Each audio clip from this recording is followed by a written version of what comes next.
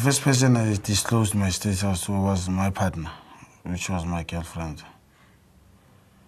Then it was, I, I went to the clinic. I had an ST, STI from her. So I went to the clinic. Then the sister advised me to have an HIV test. Then later, when I found out that I was positive, the sister asked me to bring her along to test too. So it was difficult for me to ask her to go and have an HIV test, so I had to disclose to her. But she, she reacted very badly. She blamed me for infecting her with this virus. You know.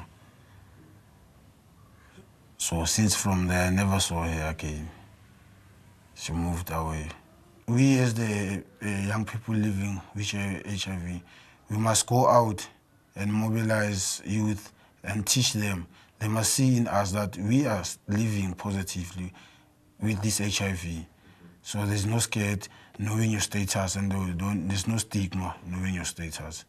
So we must go out and encourage them to get tested.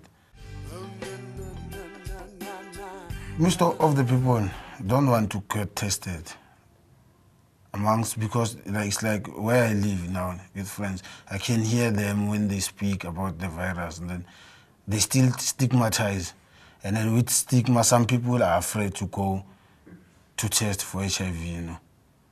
They think if you're HIV, people will will move away from you, you know, because of the stigma that is still happening.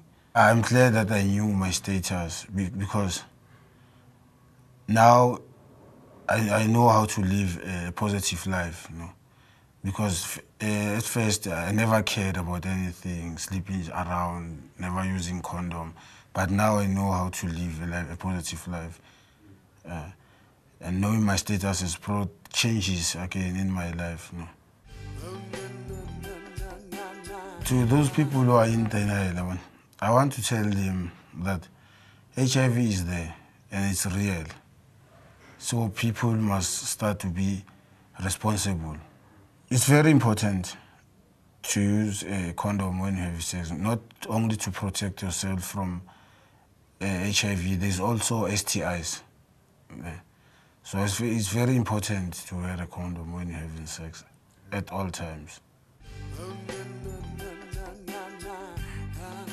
It should be criminalized. Some people in, do infect other people's purposely like someone he knows his status, but he, forces like forces someone to sleep without using a condom. It's like he, he's he attempting to, to to murder him. So I think there should be rules that say condom always use a condom. Without a condom, no sex. I always had dreams since I was so young. I still hope to achieve my dreams that I had and to be there when my son, I want to be there for my son until he is grown and become independent and become a man himself. So I'm hoping to live long. Uh, that's my dream. My name is Daniel Paddy. I live in Katlehong at Ekurhuleni in South Africa. I am 27 years old and I was diagnosed HIV positive in 2003 until now. And I'm living openly and proud to be HIV positive.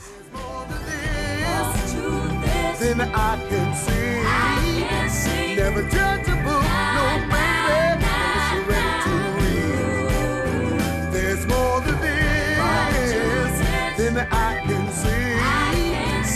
never judge a book. Nobody